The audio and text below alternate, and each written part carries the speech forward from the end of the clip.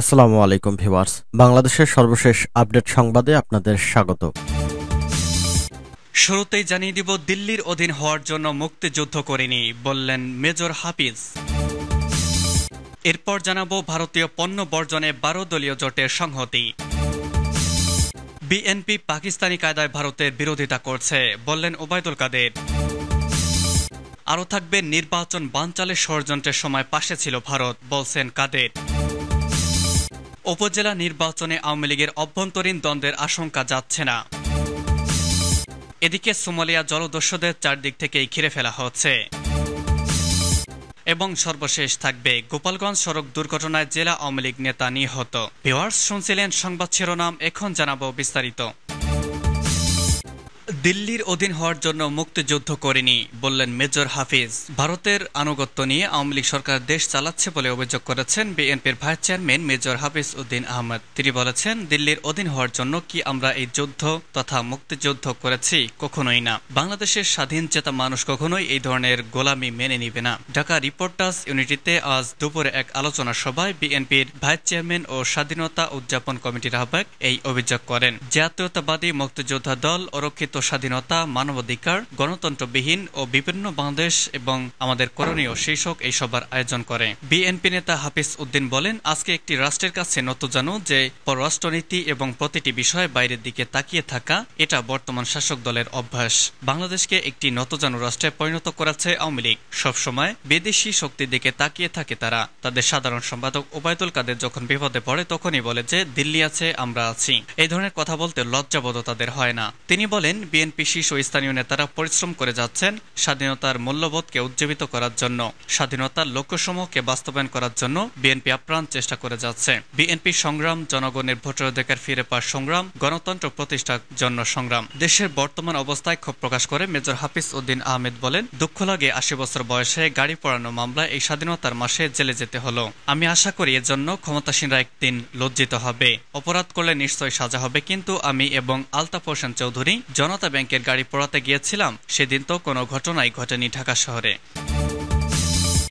ভারতীয় পণ্য বর্জনে বারো দলীয় জোটের সংহতি ভারতীয় আগ্রাসন ও ভারতীয় পণ্য বর্জন আন্দোলনে সংহতি প্রকাশ করায় বিএনপি সিনিয়র যুগ্ম মহাসচিব অ্যাডভোকেট রুল কবির রিজভি আহমেদের সঙ্গে সৌজন্য সাক্ষাৎ করে ধন্যবাদ জ্ঞাপন করেছেন বারো দলীয় জোটের শীর্ষ নেতারা এ সময় নেতারা রিজবি আহমেদ ও বিএনপির অন্য নেতাদের ভারতীয় পণ্য বর্জনে আহ্বান সংবলিত টি শার্ট হাতে তুলে দেন ভারতের সহায়তায় গত সাত জানুয়ারি বাংলাদেশে নির্বাচনী নামে একটি অদ্ভুত নাটক মঞ্চায়িত করেছে ডামি সরকার ভারত একটি গণবিরোধী দখলদার শক্তিকে বারবার মতযোগ আছে ফলে অধিকার বঞ্চিত হচ্ছে বাংলাদেশের জনগণ এবং দেশের সার্বভৌমত্ব ক্রমান্বয়ে দুর্বল হয়ে পড়ছে অপরদিকে সীমান্তে বাংলাদেশিদের বিএসএফ পাখির মতো গুলি করে মানুষ হত্যা করছে প্রতিনিয়ত এর প্রতিবাদ হিসেবে সামাজিক যোগাযোগ মাধ্যমে ভারতীয় পণ্য বর্জনে আহ্বান জানিয়েছে বিভিন্ন সংগঠন ও অনলাইন অ্যাক্টিভিস্টরা বাংলাদেশ জাতীয়তাবাদী দল বিএনপির সিনিয়র যুগ্ম মহাসচিব অ্যাডভোকেট রোল কবির রিজভি একুশ মার্চ ভারতীয় পণ্য বর্জন কর্মসূচির প্রতি সংহতি জানিয়েছেন এবার বিএনপির সঙ্গে সংহতি জানিয়ে ভারতীয় পণ্য বর্জনে আহ্বান জানিয়েছে বারো দলীয় জোট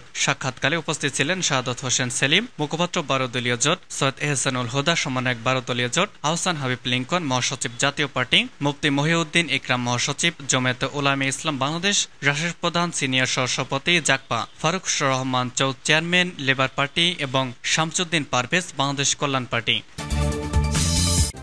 বিএনপি পাকিস্তানি কায়দায় ভারতের বিরোধিতা করছে বললেন ওবায়দুল কাদের বিএনপি পাকিস্তানি কায়দায় ভারতের বিরোধিতা করছে বলে মন্তব্য করেছেন আওয়ামী লীগ সাধারণ সম্পাদক ওবায়দুল কাদের তিনি বলেছেন রাজনৈতিক ইস্যু না পেয়ে পুরনো পাকিস্তানি কায়দায় ভারতের বিরোধিতা করছে বিএনপি আজ রাজধানী তেজগায় দলীয় কার্যালয় ইফতার ও ইজাব সামগ্রী বিতরণ অনুষ্ঠানে কথা বলেন তিনি কাদের বলেন চিরাচরিত পাকিস্তানি কায়দায় ভারতের বিরোধিতা শুরু করেছে বিএনপি যারা যখন কোনো রাজনৈতিক ইস্যু না পায় তখনই এই একটা ইস্যু সামনে নিয়ে আসে বঙ্গবন্ধুর আমলেও করেছে এখন শেখ হাসিনার আমলে এবার তাই করছে বয়কট ইস্যুতে বিএনপি নেতাদের ঐক্য নেই দাবি করে সেতুমন্ত্রী বলেন বয়কট আন্দোলন করছে তারা কিন্তু তাদের নিজেদের বক্তব্যে মিল নেই হাফিজ বলে কথা রিজবি বলে আর কথা মহাসচিব সিঙ্গাপুর থেকে বলে ভিন্ন কথা তিনি আরো বলেন বিএনপি ইফতার পার্টি করে নিজেরা খাওয়ার আয়োজন করে আর আমরা ইফতার সামগ্রী বিতরণ করি মানুষের খাবারের ব্যবস্থা করি ঢাকা জেলা বিএনপি আওয়ামী লীগ অনুষ্ঠানে আয়োজন করেছে ঢাকা জেলা সভাপতি বেনজির আহমেদ সভাপতিত্বে ও সাধারণ সম্পাদক মনিরুজ্জামান তো তরুণের সঞ্চালনায় এতে অংশ নেন আওয়ামী লীগের উপদেষ্টা সালমান ফজল রহমান প্রেসিডিয়াম সদস্য অ্যাডভোকেট কামরুল ইসলাম সহ আরও অনেকেই নির্বাচন বানচালের ষড়যন্ত্রের সময় পাশে ছিল ভারত বললেন ওবায়দুল কাদের ভারত সহ যেসব বন্ধু দেশ আছে তারা আমাদের ভোট দিয়ে নির্বাচন করেনি তারা আমাদের ভোট বানচালের ষড়যন্ত্রকে প্রতিহত করার জন্য আমাদের পাশে দাঁড়িয়েছিল বলে মন্তব্য করেছেন আওয়ামী লীগ সাধারণ সম্পাদক এবং সড়ক পরিবহন ও সেতুমন্ত্রী ওবায়দুল কাদের আজ দুপুরে তেজগাঁও ঢাকা জেলা আওয়ামী লীগ অফিসে ঢাকা জেলা আওয়ামী লীগের উদ্যোগে আয়োজিত ইফতার ও ইজাভঙ্গটি বিতরণ অনুষ্ঠানে প্রধান অতিথির বক্তব্যে তিনি এ মন্তব্য করেন গত সাত জানুয়ারি অনুষ্ঠিত নির্বাচন প্রসঙ্গে কথা বলতে গিয়ে ওবায়দুল কাদের জোবায়ের বলেন বাংলাদেশের জনগণ ভোট দিয়ে বঙ্গবন্ধু কন্যা শেখ হাসিনাকে নির্বাচিত করেছে একচল্লিশ ভাগের বেশি ভোটে নির্বাচনে পড়েছে যেটা অনেক উন্নত দেশেও এ পরিমাণ ভোট পড়ে না তারপরে বলে এখানে ইন্ডিয়া আমাদের নির্বাচিত করলো কোথায় ইন্ডিয়া ভোট কেন্দ্রে আমাদের জনগণ আমাদের ভোটাররা ভোট দিল বিএনপির মহাসচিব মির্জা ফখরুল ইসলাম আলমগীর বিদেশে বসে বিবৃতি দিচ্ছেন উল্লেখ করে আওয়ামী লীগ সাধারণ সম্পাদক দ্বিতীয় সর্বোচ্চ নেতা বলেছেন বিএনপির মহাসচিব সিঙ্গাপুরে আবার প্রতিদিনই দেখি এক একটা বিবৃতি দেয় আমি অবাক হই কোন দলের সেক্রেটারি জেনারেল নেতৃত্ব বিদেশে গিয়ে দেশের অভ্যন্তরীণ বিষয় নিয়ে কথা বলে আমি এ পর্যায়ে অনেকবার চেক আপে সিঙ্গাপুর গিয়েছি কিন্তু আমি কোনোদিনও কোনো বিবৃতি মন্তব্য বিদেশ থেকে দেইনি এটা নিয়ম নয় উপজেলা নির্বাচনে আওয়ামী লীগের অভ্যন্তরীণ দ্বন্দ্বের আশঙ্কা যাচ্ছে না আসন্ন উপজেলা পরিষদ নির্বাচন দলীয়ভাবে না করার সিদ্ধান্ত নিলেও এই নির্বাচনকে কেন্দ্র করে ক্ষমতাসীন আওয়ামী লীগ অভ্যন্তরীণ দ্বন্দ্বের আশঙ্কা থেকেই যাচ্ছে অতীতের তুলনায় এবারের নির্বাচনে প্রতিটি উপজেলায় আওয়ামী লীগ থেকে সর্বাধিক প্রার্থী হওয়ার সম্ভাবনা রয়েছে আর দল থেকে প্রার্থী বেশি হলে স্বাভাবিকভাবে দলের কর্মী সমর্থকদের মধ্যে বিভক্তিও বেশি হবে এবারের উপজেলা নির্বাচনে দলীয় মনোনয়নের বিষয় না থাকায় প্রতিটি উপজেলায় আওয়ামী লীগের মধ্য থেকে কয়েকজন করে প্রার্থী প্রার্থী হওয়ার সম্ভাবনা রয়েছে এবং প্রস্তুতি চলছে এদের অনেকেই জেলা বা উপজেলা কমিটির গুরুত্বপূর্ণ পদেও রয়েছেন স্থানীয় নেতাকর্মীর যার যার মতো এক একজন প্রার্থী কর্মী সমর্থক হিসেবে নির্বাচনী প্রচারে অংশ নেবেন দলের নেতাকর্মীরাও বিভক্ত হয়ে বিভিন্ন প্রার্থীর বিপক্ষে বিপক্ষে অবস্থান নেবেন এছাড়া জেলা উপজেলা কমিটি শীর্ষ পদে রয়েছেন এমন নেতারা নির্বাচন না করলে কোনো না কোনো প্রার্থীর প্রতি তাদের সমর্থন থাকবে আবার এমপি মন্ত্রীদেরও কোনো না কোনো প্রার্থীর প্রতি প্রকাশে না হলেও অপ্রকাশে সমর্থন থাকতে পারে অতীতে দল থেকে মনোনয়ন বা নৌকা প্রতীক দিয়ে এবং বিদ্রোহী প্রার্থী ও তাদের সমর্থকদের ব্যাপারে দলের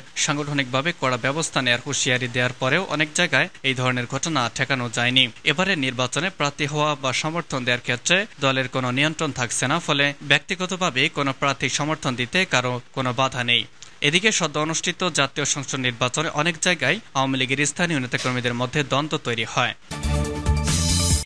এবং সর্বশেষ জানাবো সোমালিয়া জলদস্যুদের চারদিক থেকেই ঘিরে ফেলা হচ্ছে বাংলাদেশের পতাকাবাই জাহাজ এম বি আবদুল্লাহকে জিম্মি করে রাখা সোমালিয়ার জলদস্যুদের চারদিক থেকেই ঘিরে ফেলা হচ্ছে সমুদ্রের পাশে জাহাজটিকে নজরদারিতে রেখেছে ইউরোপীয় ইউনিয়নের নৌবাহিনী অপারেশন আটলান্টা অন্যদিকে সোমালিয়ার ভূমি থেকে যাতে কোনো সহযোগিতা না পায় সেই অভিযান চালাচ্ছে দেশটির পুলিশ এক প্রতিবেদনে তথ্য জানিয়েছে বিবিসি সোমালি স্বায়ত্তশাসিত অঞ্চল Puntland police commander Mohammad Ali Ahmed মারুদ উফ বলেছেন করেছেন এমপি আবদুল্লাহ এখন আছে জিফলের উপকূলীয় এলাকায় জলদস্যুদের যোগাযোগ বিচ্ছিন্ন করার জন্য আমরা পূর্বাঞ্চলে একটি অভিযান শুরু করেছি যাতে তারা এই এলাকার ভূমি থেকে আর কোনো সহযোগিতা না পায় এবং সর্বশেষ জানাবো গোপালগঞ্জ সড়ক দুর্ঘটনায় জেলা আওয়ামী লীগ নেতা নিহত মোটরসাইকেলে ধাক্কায় গোপালগঞ্জ জেলা আওয়ামী লীগের সহসভাপতি ও special public prosecutor advocate Ranjit Kumar Baroi গামা নিহত হয়েছেন শুক্রবার রাতে আশঙ্কাজনক অবস্থায় ঢাকা নেয়ার পথে তার মৃত্যু হয়েছে এদিন বিকাল তিনি তিনি দুর্ঘটনা শিকার হয়েছেন পুলিশ জানিয়েছে ঢাকা খুলনা মহাসড়কের শহরতলির মান্দারতলা এলাকায় নিজের প্রতিষ্ঠিত শেখ ফজল করিম সেলিম ল কলেজের নির্মাণাধীন ভবনের দেখাশোনা শেষে বাসায় ফেরার জন্য বিকাল পাঁচ পাঁচটার দিকে অজ্ঞাত একটি মোটরসাইকেলে তাকে ধাক্কা দেয় তিনি এতে গুরুতর আহত হন তাকে উদ্ধার করে গোপালগঞ্জ আড়াইশো শয্যা বিশিষ্ট জেনারেল হাসপাতালে ভর্তি করা হয় সেখানে তার শারীরিক অবস্থার অবনতি হলে তাকে ঢাকা মেডিকেল কলেজ হাসপাতালে নেওয়ার পথে রাতেই তার মৃত্যু হয়